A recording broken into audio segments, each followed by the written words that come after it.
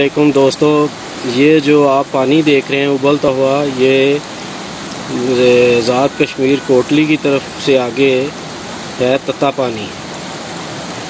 ये उस इलाके का नाम इस वजह से रखा गया कि ये देखें नाजरीन के पत्थरों के नीचे से किस तरह पानी उबलता हुआ निकल रहा है। इस वजह से इस इलाके का नाम तत्ता पानी है।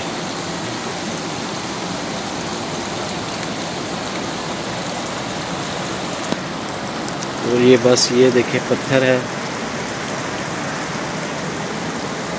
पत्थर के नीचे से ये निकल रहा है और ये निकलता हुआ फिर दरिया में चला जाता है, इस दरिया में।